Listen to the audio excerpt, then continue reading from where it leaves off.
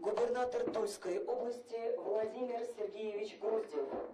Да, добрый день, уважаемые коллеги, уважаемый Алексей. А, хочу сказать, что подписание соглашения с открытым акционерным обществом универсальная электронная карта для нас является не просто каким-то знаковым подписанием, а на самом деле очень смысловым, потому что э, внедрение тех технологий, которые предполагают использование универсальной электронной карты, эти технологии позволят нам экономить средства э, бюджета Тульской области. Прежде всего, это на средства, которые выделяются в виде субсидий на обеспечение транспортных услуг, Э, и, безусловно, поможет нам э, навести порядок в э, оплате за услуги ЖКХ. Уверен, что после внедрения этой процедуры у нас таких случаев, которые, к сожалению, у нас встречаются еще во многих муниципальных образованиях, когда управляющие компании, имея задолженность перед энергоснабжающими организациями, к сожалению, банкротятся, и э, у нас энергетики несут серьезные материальные потери. Поэтому а, сегодняшнее, мы долго шли к этому соглашению, мы понимаем ту ответственность, которая есть, и мы понимаем, что выпуск почти 500 тысяч карт за год – это существенное а, мероприятие. Оно, в общем-то, несет в себе не только материальные расходы, но еще а, достаточно серьезные организационные мероприятия. Поэтому уверен, что внедрение этой программы позволит нам получить хороший экономический эффект по расходованию денег бюджета Тульской области. Ну а для Сбербанка, потому что у нас, соответственно, универсальная электронная карта является, Сбербанк является одним из основных учредителей для э, открытого акционерного общества. Э, универсальная электронная карта это тоже большой опыт э, потому что впервые они, такой объем карт будет выпускать в одном регионе, и в принципе в какой-то степени мы являемся даже пилотным регионом, потому что выпуск 500 тысяч карт – это примерно половина всего выпуска России. Поэтому в добрый путь, уверен, что партнеры нас не должны подвести, партнеры серьезные, настроенные на победу, поэтому только вперед.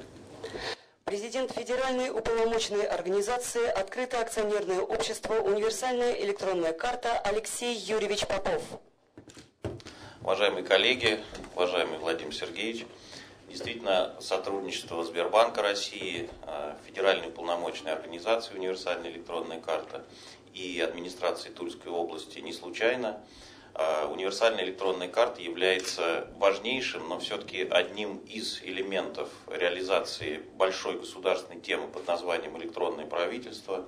Тульская область э, один из лучших регионов Российской Федерации в части достижения практических результатов при оказании гражданам электронных услуг, при оказании гражданам услуг в многофункциональных центрах и реализации других элементов электронного правительства и выпуск действительно масштабного, самого масштабного в Российской Федерации сейчас э, количества универсальных электронных карт э, на субъект, который мы здесь запланировали, он э, придаст очень серьезный импульс развитию электронного правительства в Тульской области.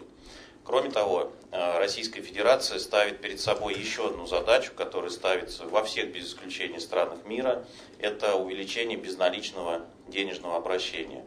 И здесь э, симбиоз, э, вот это вот сотрудничество между крупнейшим банком э, Тульской области, между правительством и между универсальной электронной картой э, даст возможность в 3-4 раза увеличить уже через год долю э, безналичного денежного обращения в Тульской области.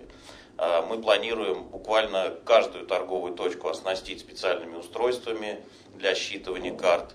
Э, планируем э, сделать для граждан экономически эффективным и интересным оплату товаров и услуг именно в безналичной форме, как на транспорте, так и продуктов питания по универсальным электронным картам. Если нам удастся э, сделать, а, а мы весьма скромно запланировали в 3-4 раза увеличить, на, по факту может получиться больше, то это будет результат для Российской Федерации пока беспрецедентный. И есть все основания утверждать, что мы добьемся успеха а, с такой командой, которая здесь подобралась в этой области. Приступаем к церемонии подписания соглашения о взаимодействии между правительством Тульской области и Федеральной уполномоченной организацией «Открытое акционерное общество «Универсальная электронная карта» по реализации проекта создания единого центра процессинга и биллинга на территории Тульской области. Соглашение подписывают губернатор Тульской области Владимир Сергеевич Груздев, президент Открытого акционерного общества «Универсальная электронная карта» Алексей Юрьевич Попов.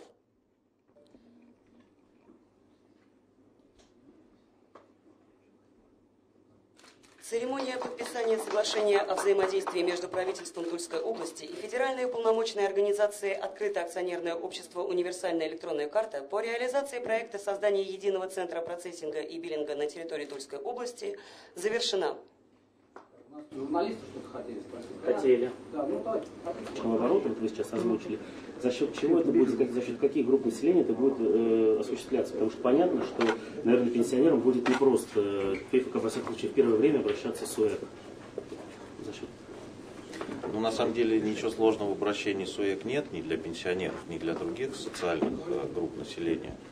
А, а планируется, что по этим картам будут представляться скидки как при поездках в транспорте, так и при покупке э, товаров в различных торговых сетях. И в этой связи не будет необходимости, как это происходит зачастую сейчас, получив социальную помощь на счет в банке, а это все практически социальные группы населения получают ее на счет в банке, тут же бежать в банкомат и обналичивать э, с карточки всю сумму, потому что расплачиваться картой, а, удобнее, б, дешевле. Тулики, конечно, еще волнуются о том, будет ли это такая принудительная выдача карты, замена, может быть, паспортов на эту карту. Вот такие есть слухи. Это разные совсем проекты. Угу. То есть, если говорить про проект УЭК, никакой принудиловки нет и быть не может.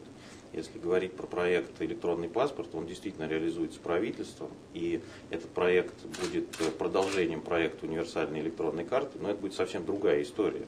Это будет история начинаться как минимум с 2016 года, и, соответственно, обязательность будет ровно такая же, как и обязательность получения паспорта текущего, бумажного. 14 лет, 25, 45 и так далее. Владимир Сергеевич, скажите, пожалуйста, вот а, сейчас уже у нас вводится приложение, как известно, на УЭК, это транспортная, единая транспортная карта. Все-таки как будут подразделяться льготники, нельготники?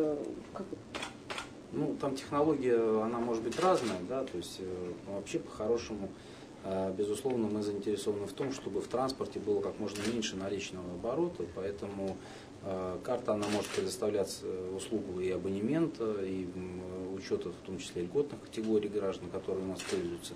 Все дело в том, что транспорт у нас на сегодняшний день одна из самых э, закрытых э, с точки зрения экономики и прозрачности Э, сферы бизнеса. Поэтому с учетом того, что мы почти 900 миллионов оказываем субсидию из областного бюджета и почти 500 миллионов город-герой Тула из своего бюджета оказывают субсидию, мы заинтересованы в том, чтобы вот эти ну, почти полтора миллиарда рублей были, тратились э, на самом деле именно для тех категорий, которые мы перевозим.